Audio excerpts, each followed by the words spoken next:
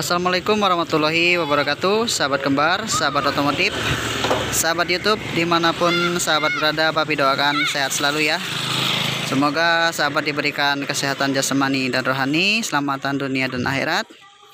Kemudian dilancarkan selalu rezekinya.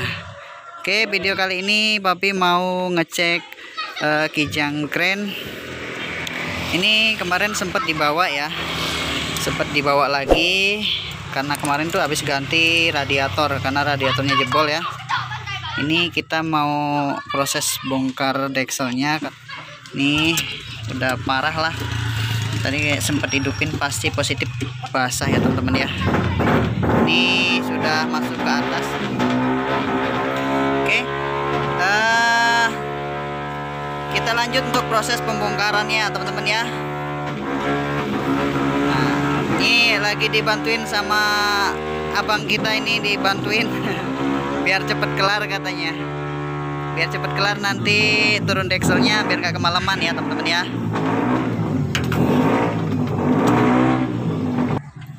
Oke lanjut teman-teman ya. Kita lanjut pembongkaran alatnya sudah papi siapkan ya. Ini alat tempur.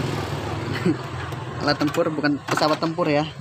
Alat tempur teman-teman kita lanjut untuk pengetapan oli mesin kemudian kita tap juga air radiatornya ya.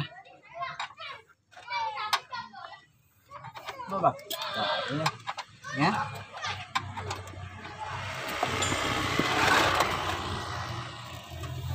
Proses proses sore ini sekitar jam 5 ya. Biar cepet nanti nggak kemalaman. Oh, biar nggak gelap. Oke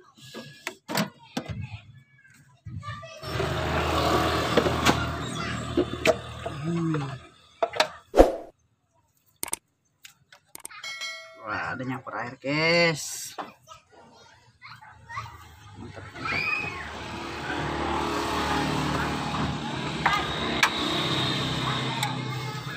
Kemudian kita tap air radiatornya. Kali sudah ditap, air radiatornya tinggal kita tap ya teman-teman ya. Oke, lanjut. Oke, kita lanjut untuk buka sekalian ini teman-teman ya. Lokal alarmnya kita buka semua. Radiatornya sudah kita tap.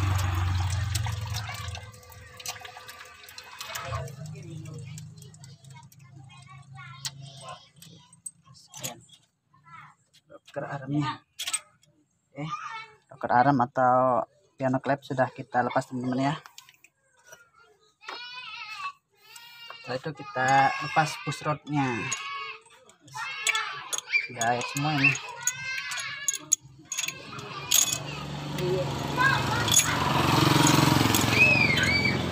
So, sudah kita lepas kemudian kita lepas untuk baut dekselnya oke? Okay? kita lanjut lepas baut dekselnya.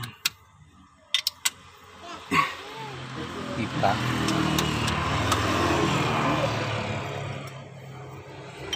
Kita gunakan pipa supaya enteng ya. Enteng banget ini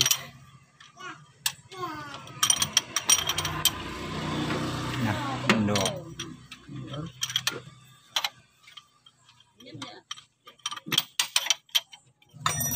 ya.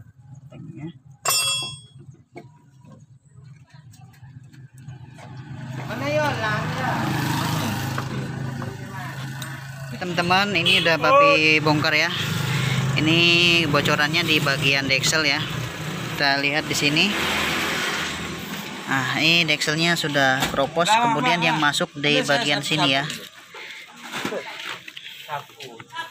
Nah, yang kemasukan air di bagian ini karena ini bagian yang warna kuning ya.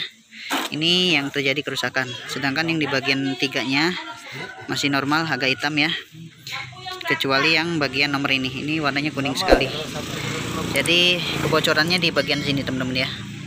Oke, nanti kita ini perbaiki, kita las, kemudian kita scrap lagi ya estimasinya. Oke, lanjut untuk beres-beres dulu.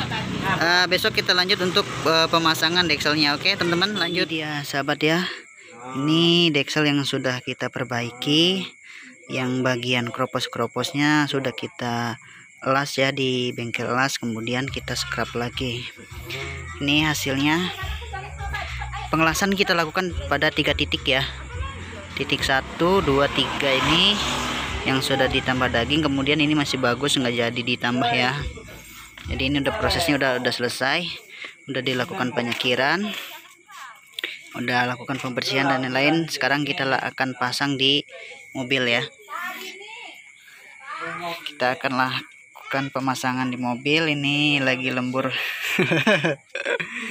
Lagi lembur guys. Kita lanjut untuk pemasangannya. Oke teman-teman kita lanjut untuk pemasangan perpak head ya. Ini nggak bisa terbalik ya. Apabila terbalik dia tidak bisa dipasang. Ini tidak pas lubang pinnya. Kita paskan di balik. Oke setelah ini kita lanjut untuk pemasangan head.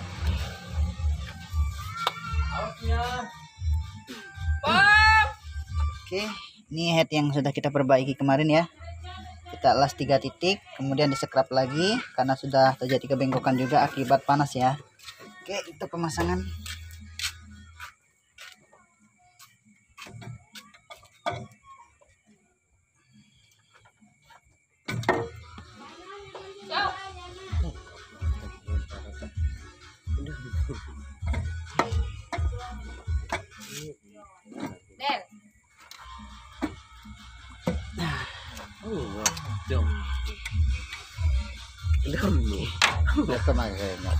Oke lanjut untuk pemasangan baut headball ya teman-teman ya.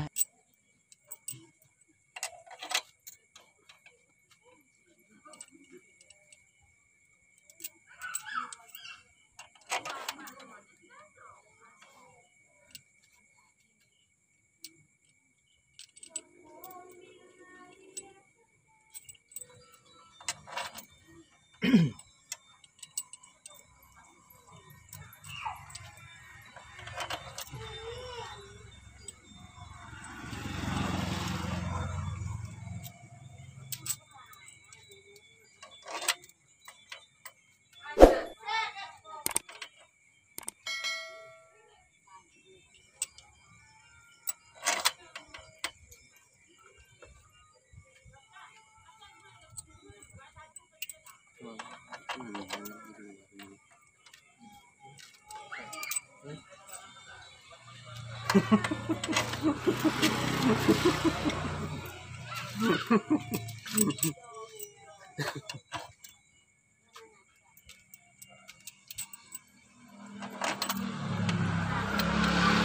kemudian kita rapatkan bagian bautnya baut 14 nya ya. Kita rapatkan semuanya dimulai dari bagian yang tengah. Oke kita lakukan pengencangannya dari tengah teman-teman ya kencangkan.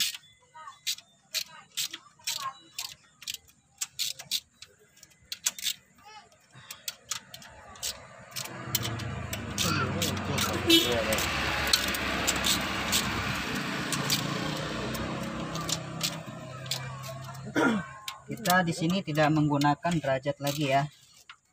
Karena kalau truk-truk derajat itu untuk khusus apa headball yang sudah plastik rigid atau yang headballnya kecil-kecil ya teman-teman. Oke truk pertama kita gunakan 5 kilo. Kita setting dulu di 5 kilo ya.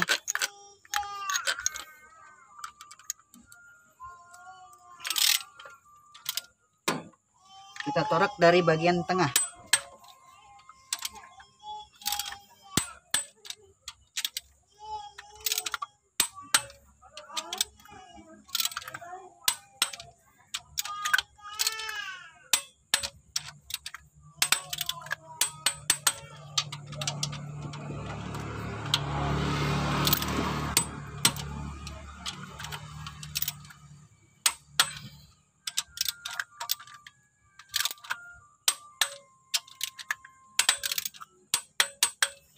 Oke, setelah itu kita lanjut ke penorokan untuk 7 kilo.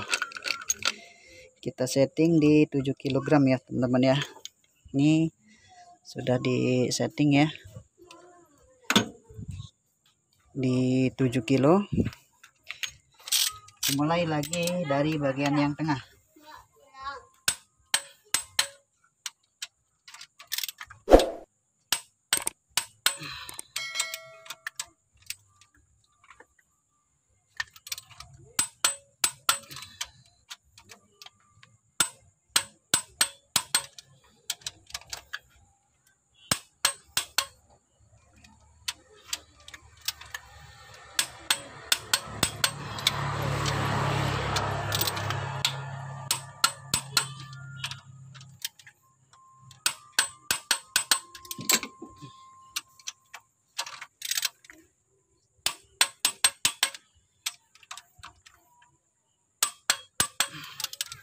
Kita cek lagi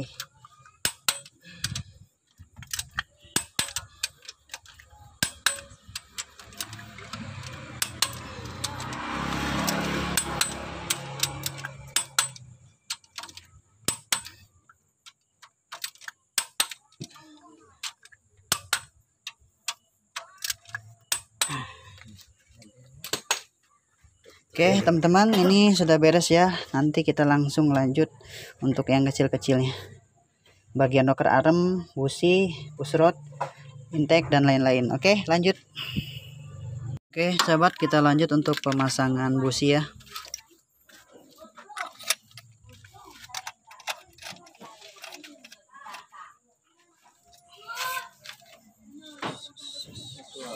Oke selanjutnya kita pasang bagian pusrot Oke jadi pemasangan pusrot usahakan ini top 1 ya teman-teman ya at- ataupun top 4 ya. Jadi nanti pemasangan rocker armnya lebih enak nanti.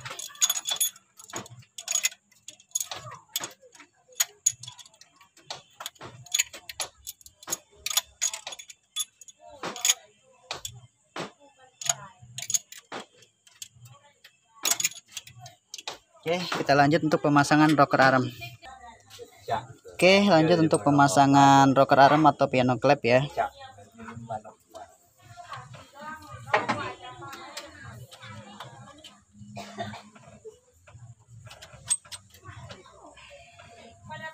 Oke kita paskan bagian piano clapnya ya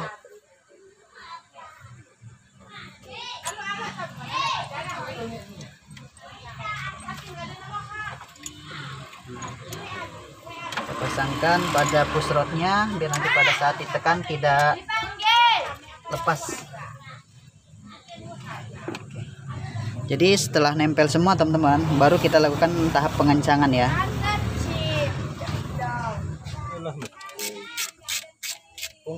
Daw. Oke teman-teman sini eh, letaknya di bagian top 4 ya. Di bagian top 4 ini egg in egg in ya. Ini bagian top 4 jadi sekalian nanti kita eh, apa namanya kita setel ulang klepnya oke? Paskan di tanda garis nol ya pada pada cowakan puli teman-teman ya. Untuk senior jangan diragukan lagi nih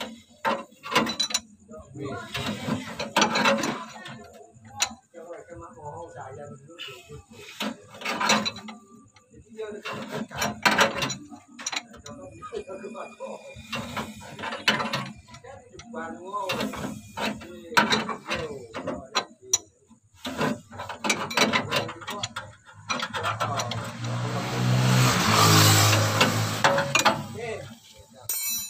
Oke, paskan coakan eh, puli ya. Paskan coakan puli pada garis nol. Kemudian kita cek untuk top 1 itu in egg in terus 3 egg ya.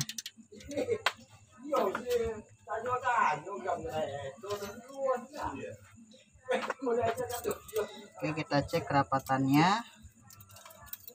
Ini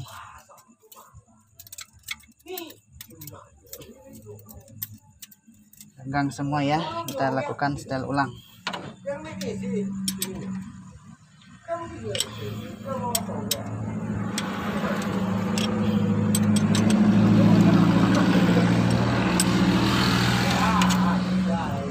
Oke. Untuk in eh, untuk egg kita gunakan 15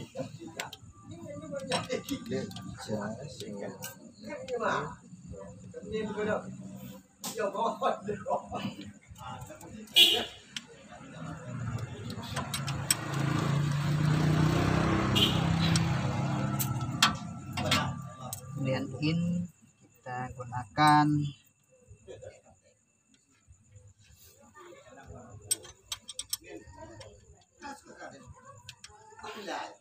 koma sepuluh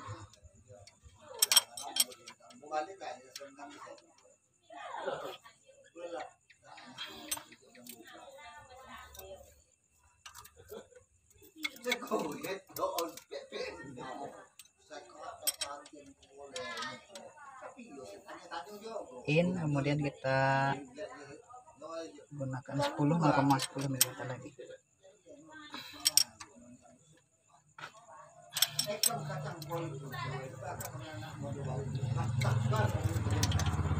dan egg-nya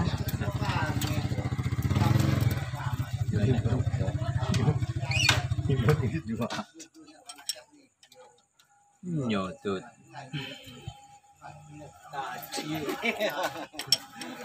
Ya?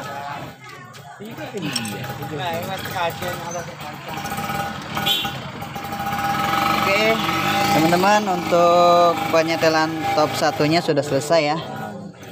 Ini satu egg, satu in, dua in, tiga egg. Oke, nanti setelah ini kita rapi-rapi untuk pemasangan tutup klep, kemudian distributor ya. Setelah itu nanti kita coba hidupkan dan kita isi oli dan kita pasang selang radiatornya. Oke, lanjut. Oke, untuk pemasangan distributor ini sudah menunjukkan pada top 1 ya. Ini ada coaknya nih teman-teman ya. Jadi dia menunjukkan pada top 1. Oke, kita pasang ininya.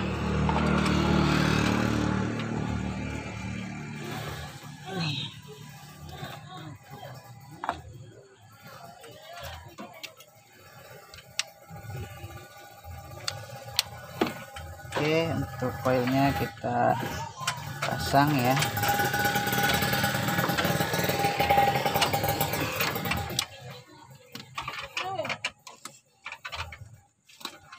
Mending kita rapikan dulu ya teman ya. Kemudian kita pasang untuk bagian tutup cover koper. Radiator. oke ini lagi dipasang ya teman-teman ya. Lagi dikeroyok nih mobilnya biar cepat selesai ini lagi proses pemasangan selang radiator.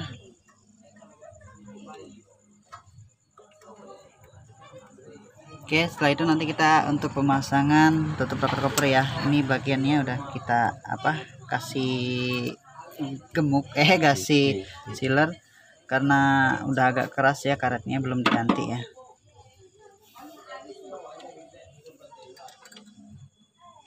Oke kita tunggu untuk proses pemasangannya Oke teman-teman untuk lanjut pemasangan tutup cover cover ya. Kita tutup klep.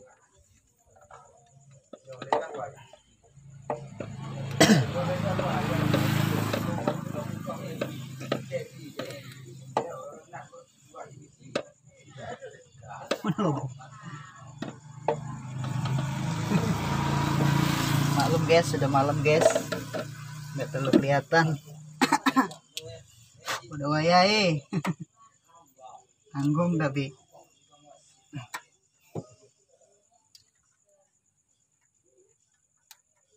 Ini belum masang. ya rempaknya belum selesai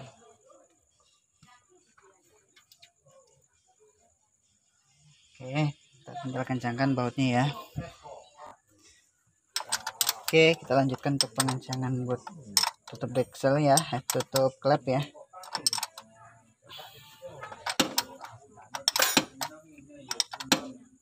Oke,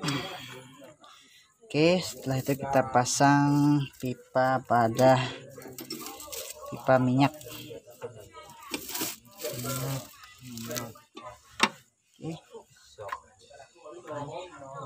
Oke. Oke. Oke, teman-teman, setelah ini kita eh, rapikan bagian-bagian yang ini ya. Bagian yang kecil-kecilnya nanti kita proses untuk penghidupan. Oke, lanjut teman-teman. Oke teman-teman, eh, yang kecil-kecilnya sudah kita rapikan ya. Nanti kita tinggal isi oli, eh, apa air radiator, olinya sudah kita isi, kita bilas dulu dengan oli bekas ya. Setelah itu nanti kita hidupkan. Eh, berhubung ini lagi ya sudah malam, istirahat dulu sebentar kita untuk break ya. Oke, nanti kita lanjut untuk menghidupkannya. Oke, lanjut. Oke, teman-teman, ini airnya sudah kita isi ya. Ini tinggal kita proses hidupkan. Oke. Hei Bang, hidupin Bang.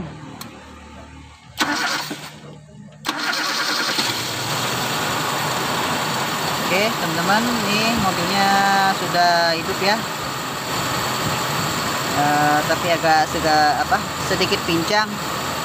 Kemungkinan nanti kita lakukan untuk eh, penyetelan klep ulang ya. Oke, ini proses malam ini sudah selesai. Nanti tinggal kita tunggu, kita panasin dulu. Setelah itu kita lakukan penyetelan ulang apabila mesinnya masih pincang ya, teman-teman ya.